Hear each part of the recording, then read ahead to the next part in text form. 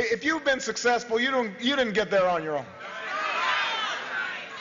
You, you, Should employers be kind of letting their employees know so that they understand what, what, what it's about to be an entrepreneur? The difference between the employer and the employed is the employer is the guy that generally spends his Friday afternoons, his weekends, the wee hours of the morning determining if whether or not he has made the best business bet that's going to return uh, a profit to him.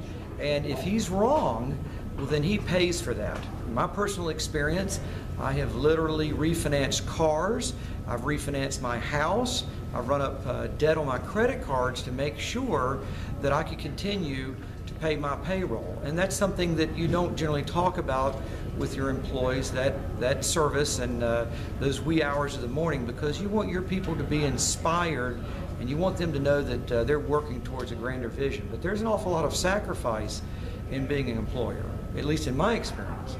We had a nice full crowd. If, if we'd replaced all those people with members of Congress, 435 of them and 100 senators, and you had one minute to tell them, here's the one thing I want you to accomplish that will help me and other entrepreneurs like me hire people, what would that be? change your name, change your dress, walk down to your local employment opportunity of your choice, whether that's a restaurant, a bar, a hotel, or employment center, fill out an application and live for a day in the life of someone who is seeking to simply work for the privilege of working. And if you want to go a little bit further, come up with one clever business idea today reach deeply into your pocket, into that of your friends and family, and place everything that you've got on that bet. Make that successful, live with it. I think you'll be a better uh, governor.